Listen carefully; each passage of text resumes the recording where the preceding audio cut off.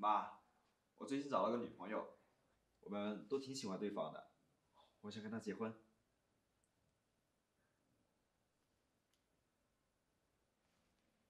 你想结婚你就结啊，可是我得告诉你啊，我没有钱给你啊。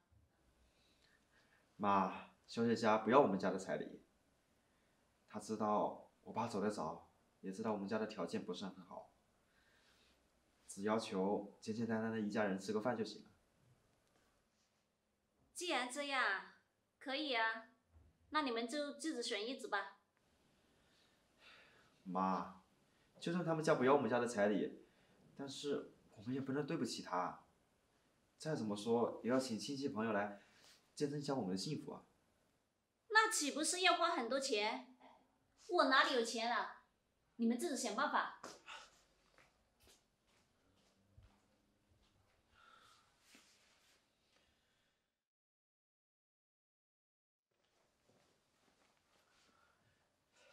妈，我和小雪明天就结婚了。我们两个为了筹备婚礼，积蓄已经花光了，你能给我拿点钱吗？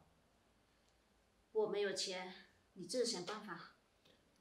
妈，这些年我的工资一直都在你的手上，还有我爸的意外赔偿金一百多万呢，也全部被你拿着了。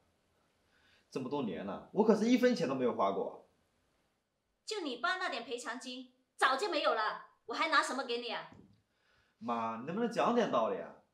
我可是从来没有问你要过钱，我可是你的亲生儿子啊！你怎么能这样子啊？反正我也没指望你们会养我，我的钱啊还要留着跟我老王过。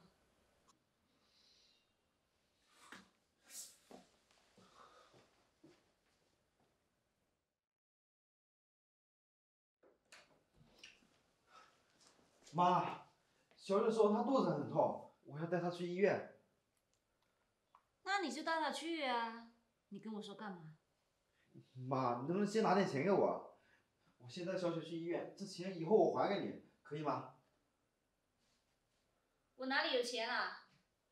还有啊，你们都已经结婚了，以后啊，你们就管到外面去住。这个房子啊，是你爸留给我的。妈，你这说的还是人话吗？怎么能见死不救？我爸走了，钱你拿了，现在房子也不让我们住。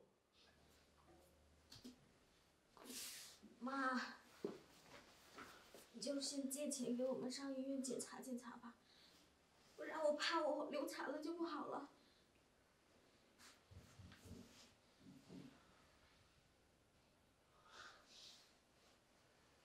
彩彩，你先带我上医院吧。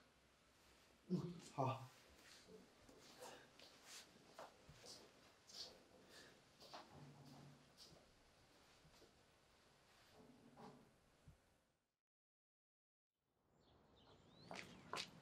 哎彩彩，这怎么那么像你妈啊？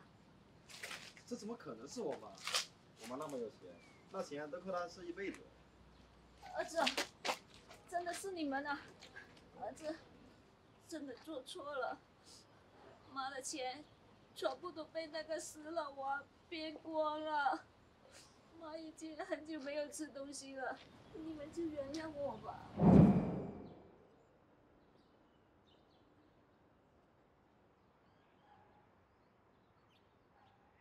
儿子。